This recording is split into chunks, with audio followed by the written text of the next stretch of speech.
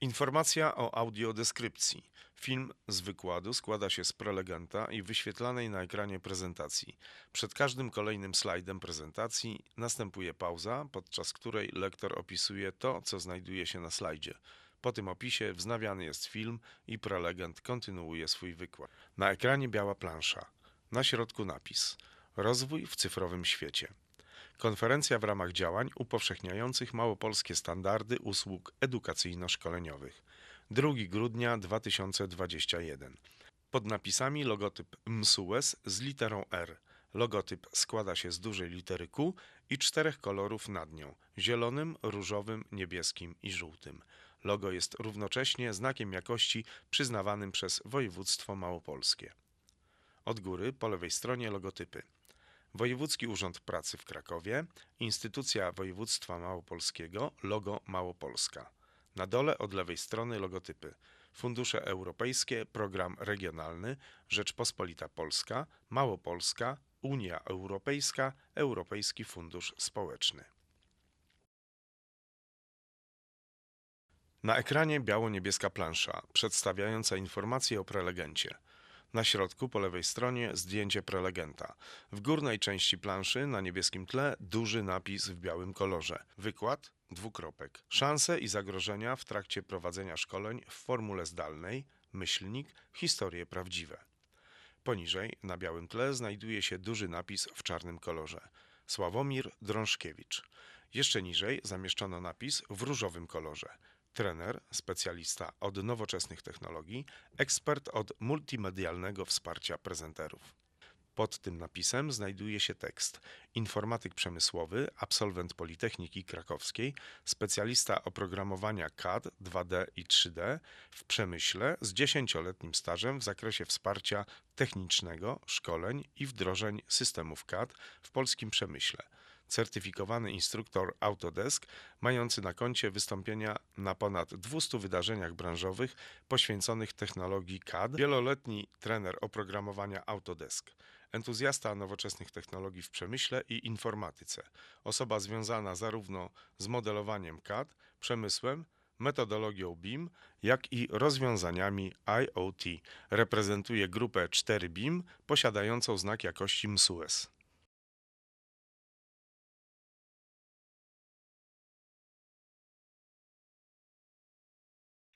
Drodzy Państwo, ja nazywam się Sławy Drążkiewicz i jestem współzałożycielem firmy Grupa 4B. Na ekranie prezentacja, białe tło, na środku czarny napis. Szanse i zagrożenia w trakcie prowadzenia szkoleń w formule zdalnej, myślnik, historie prawdziwe. Poniżej czarny napis, Sławomir Drążkiewicz, Business Development Manager, członek zarządu Grupa 4BIM, spółka z OO. Na górze grafika składająca się z trójkątów w odcieniach koloru niebieskiego. Na dole niebieski pasek, a na nim w prawym dolnym rogu logotyp G4 BIM. Na ekranie w prawym górnym rogu prowadzący pan Sławomir Drążkiewicz. Dzisiaj przez kolejne 7 minut chciałbym zaprosić Państwa na wysłuchanie pewnej opowieści. Naszej historii na temat szans i zagrożeń, które stoją przed firmą zajmującą się szkoleniami w tych trudnych i nowych dla nas wszystkich czasach, czyli czasach pandemii. E, na początku muszę powiedzieć, że ta historia będzie utrzymana w pewnej konwencji. Plansza z białym tłem. Na środku czarny napis w trzech wierszach. Pecha kucha. Poniżej napis w języku japońskim. Poniżej napis 20 razy 20S równa się 6M40S.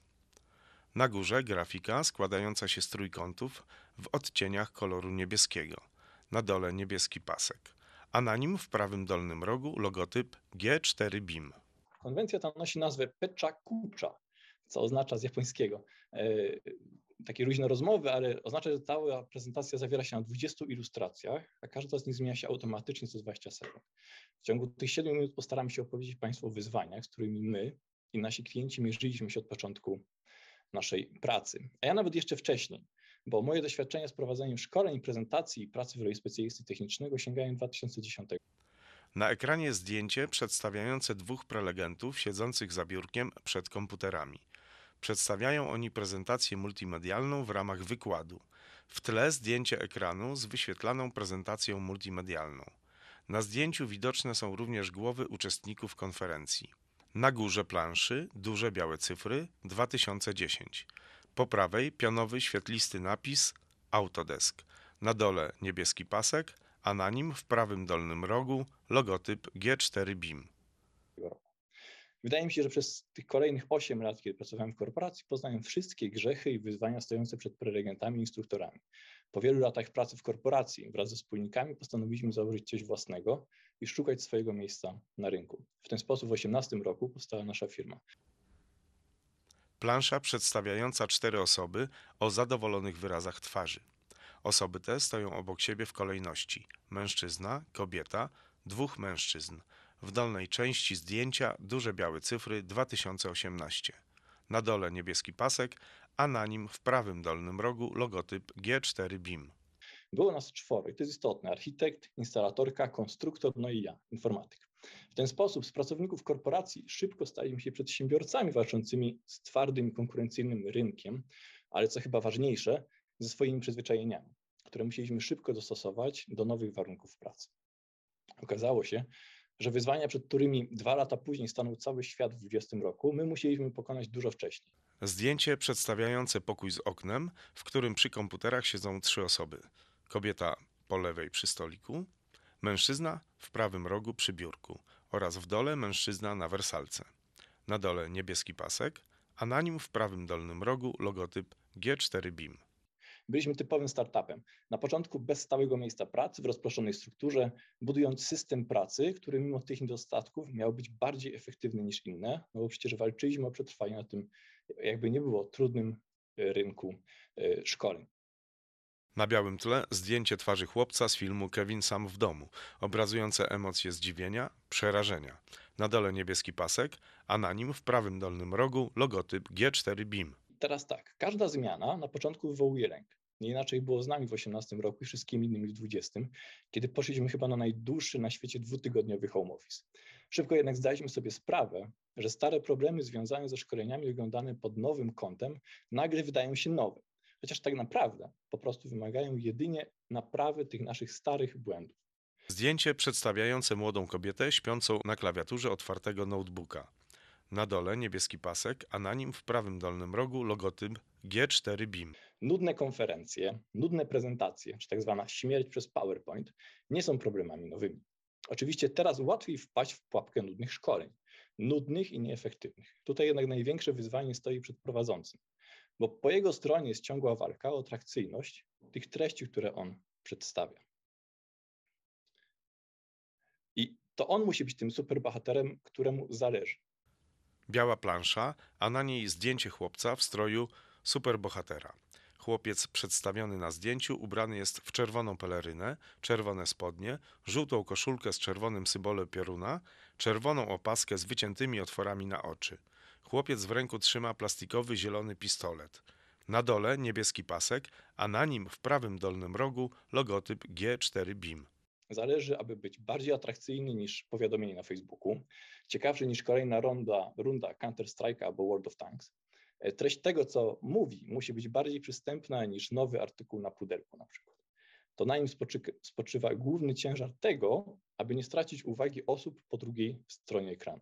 Na planszy ilustracja przedstawiająca ekran komputera z uruchomionym programem AutoCAD i rysunkiem technicznym przedstawiający rzuty z wymiarowanej bryły. Na dole niebieski pasek, a na nim w prawym dolnym rogu logotyp G4 BIM. Okazuje się, że wyzwania, z którymi się spotykamy, mogą też być dla nas szansą. Skoro już prowadzimy spotkanie online, może warto je od razu nagrać, na przykład na YouTube. Jeżeli uczestnik musi iść na inne ważne spotkanie, odebrać telefon albo przełączyć się na inny wykład, to nie musi rezygnować z mojego kursu. Dostaje link tego samego wieczora, nadrabia materiał, o którym mówiłem.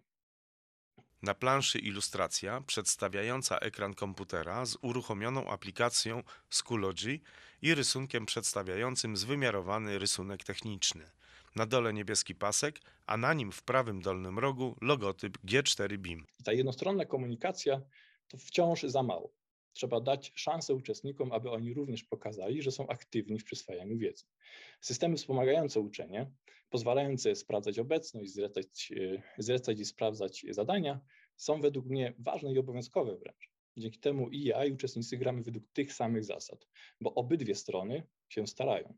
Na ekranie zdjęcie wpisane w okrąg. Przedstawione jest na granatowym tle w pomarańczowej obramówce. Zdjęcie prezentuje pomieszczenie z dużą ilością uruchomionych notebooków. Na pierwszym planie mężczyzna przy biurku pracujący przed komputerem. Na dole niebieski pasek, a na nim w prawym dolnym rogu logotyp G4 BIM. Dodatkowo przy złożonych, trudnych szkoleniach ilość specjalistycznego oprogramowania i potencjalnych problemów z jego instalacją staje się wyzwaniem. Sprawia to, że lepiej jest przygotować stacje robocze i dać do nich dostęp uczestnikom przez pulpity zdalne. My tak na przykład robimy. Jeżeli coś pójdzie nie tak, to trener może podejść do komputera uczestnika i fizycznie pomóc rozwiązać jego problem, pomimo że tej osoby tam nie ma. Na ekranie zdjęcie zaprezentowane na tle błękitnego nieba.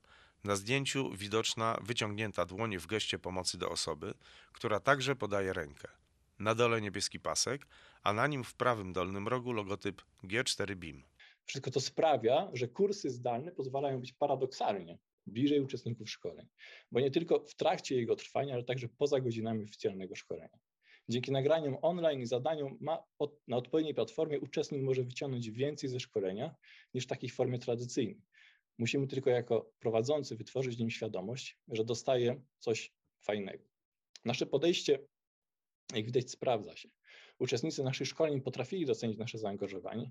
Jeżeli nam się udało, to jestem przekonany, że każdemu, kto wykaże się odpowiednią determinacją, również uda się dostarczyć równie ciekawe albo bardziej nawet ciekawe y, szkolenie w takiej formie.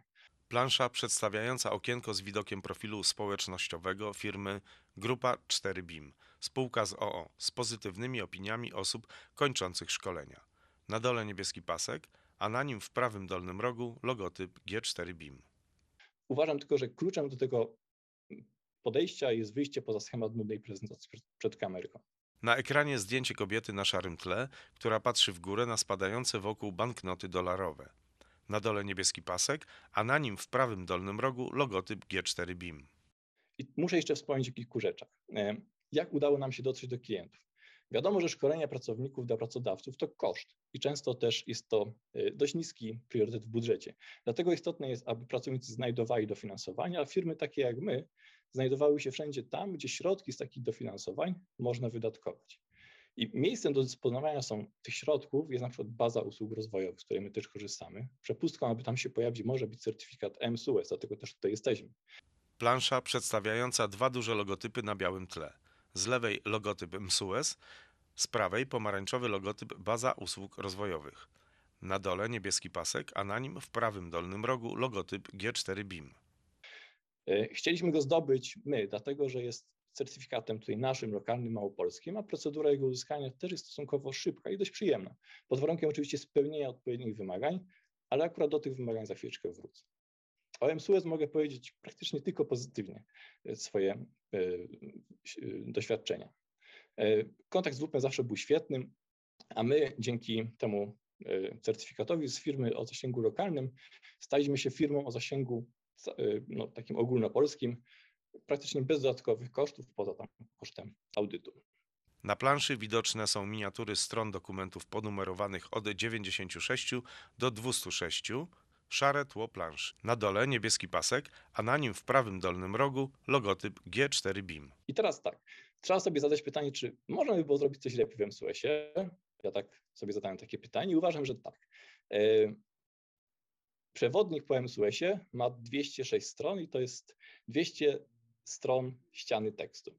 Do jednych mało, do drugich dużo, no my przez to musieliśmy się przekopać. Oczywiście zrobiliśmy to i ten certyfikat zdobyliśmy. Na planszy po lewej stronie zrzut ekranu z miniaturami stron dokumentów ponumerowanych od 1 do 41 na szarym tle. W prawym górnym rogu zdjęcie przedstawiające kokpit samolotu pasażerskiego. Pod zdjęciem tabelka z danymi technicznymi w języku angielskim.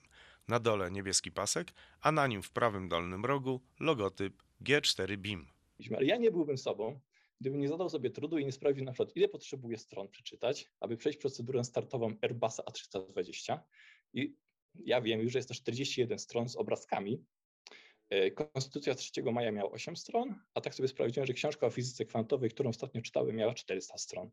To taka ciekawostka. E, my na własne potrzeby przygotowaliśmy również proces organizacji szkolenia zgodnie z wytycznymi MSUS, który cały czas wisi u nas w biurze jest dla nas bardzo pomocny, chociaż zrobiliśmy go na własne potrzeby. Plansza przedstawia schemat pod nazwą Proces organizacji szkoleń według wytycznych MSUS. Zaczynając od lewej strony na górze planszy znajduje się ramka w kształcie elipsy na białym tle z czarnym napisem Start. Pod ramką jest czarna strzałka skierowana w dół do ramki z napisem Zapytanie ofertowe klienta na szkolenie. Jest to napis na białym tle.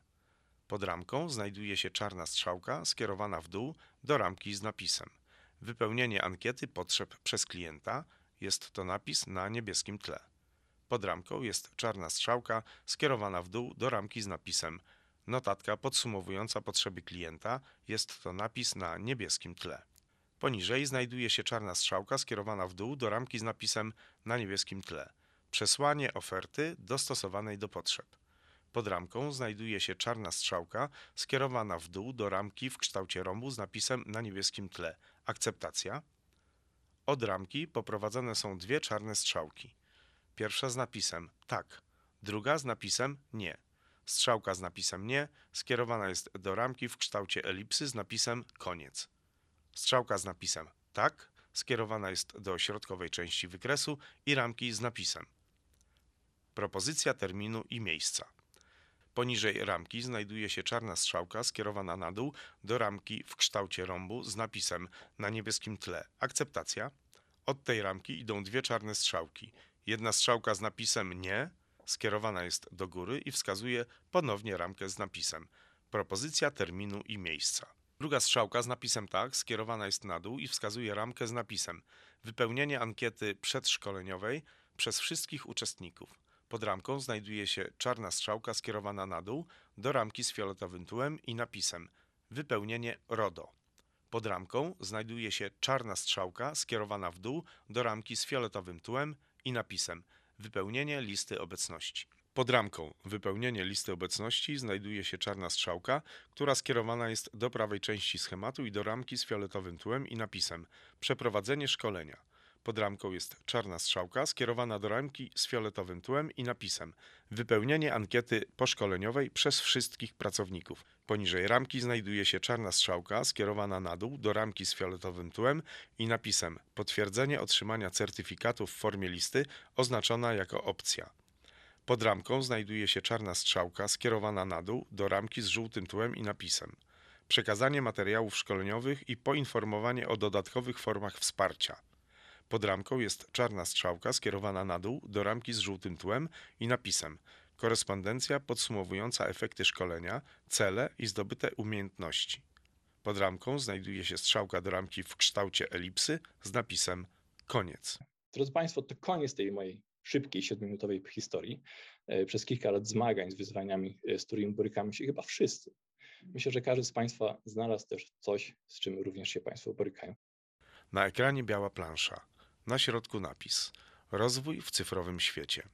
Konferencja w ramach działań upowszechniających małopolskie standardy usług edukacyjno-szkoleniowych. 2 grudnia 2021. Pod napisami logotyp MSUS z literą R. Logotyp składa się z dużej litery Q i czterech kolorów nad nią: zielonym, różowym, niebieskim i żółtym. Logo jest równocześnie znakiem jakości przyznawanym przez województwo małopolskie. Od góry po lewej stronie logotypy. Wojewódzki Urząd Pracy w Krakowie, Instytucja Województwa Małopolskiego, logo Małopolska. Na dole od lewej strony logotypy. Fundusze Europejskie, Program Regionalny, Rzeczpospolita Polska, Małopolska, Unia Europejska, Europejski Fundusz Społeczny.